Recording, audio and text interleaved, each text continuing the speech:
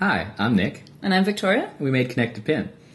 Yeah, so the last tutorial for the old version was, was almost an hour long. Yeah, let's not do that again. Yeah. But a lot has changed. It's way easier to install, and we've totally overhauled the capture process, and we've automated the workflow as much as possible. You don't have to write any code now. Yeah, you can now rig and animate a character by pressing four buttons. And it's 3D.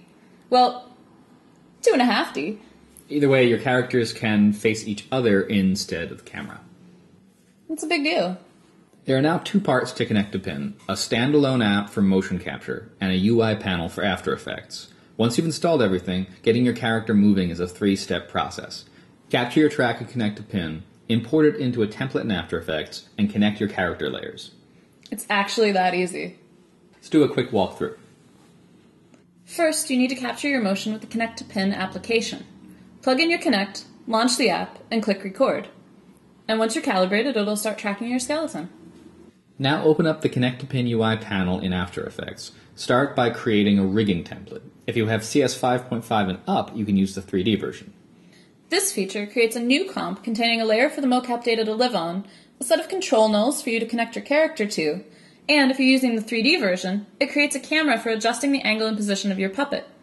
It also adds all the relevant smoothing, scaling, and layer space transformation expressions automatically.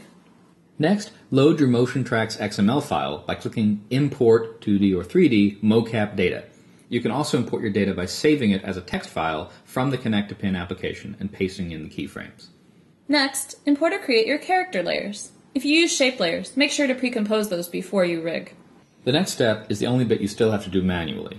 Add puppet pins to the joints on your character layers and rename them to match the control nulls you want to connect them to. Click Rig Puppet Layers and everything should snap into place.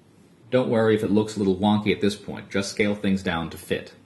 Now rename the head, hand, and foot layers to match the control nulls, but add underscore layer to the end of the name. Adjust their anchor points so that they pivot the right way, and click the Rig Head, Hands, and Feet button to connect your remaining character layers to the control nulls.